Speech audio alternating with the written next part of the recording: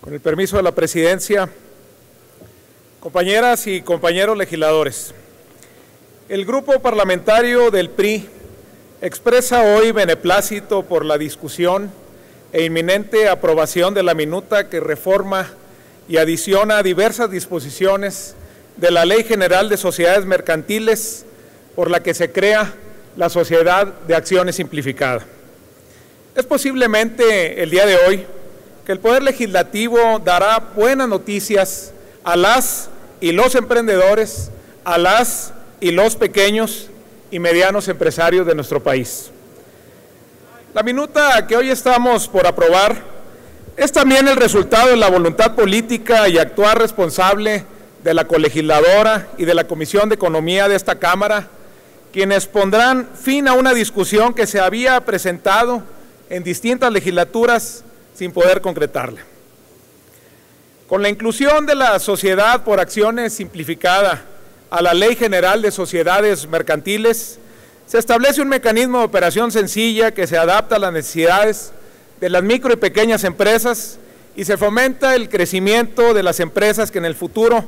adopten formas más sofisticadas de operación y administración. En el dictamen a la minuta se precisa que estas sociedades podrán constituirse por una o más personas físicas que solamente están obligadas al pago de sus aportaciones representadas en acciones y en ningún caso las personas físicas podrán ser simultáneamente accionistas de otro tipo de sociedad mercantil a las que se refieren las fracciones 1 a la séptima del artículo 1 de la ley. Así también se especifica que los ingresos totales anuales de una sociedad por acciones simplificada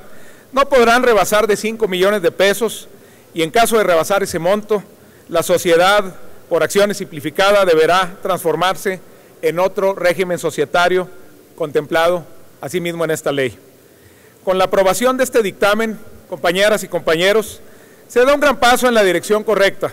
pues se amplían las oportunidades para los emprendedores, se genera empleo, se superan obstáculos y al mismo tiempo se agiliza el tiempo de creación un día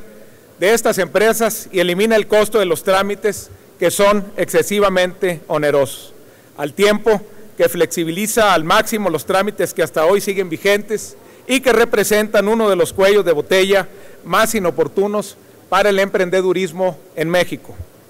Compañeras y compañeros, es nuestra obligación trabajar en una nueva cultura de la agilización de los trámites para impulsar que haya cada día más emprendedores que impulsen la generación de empleos desde las micro y medianas empresas y por ello es que solicito a nombre de los diputados y diputadas del Revolucionario Institucional su voto a favor de la presente minuta. Por su atención, muchas gracias. Es cuanto.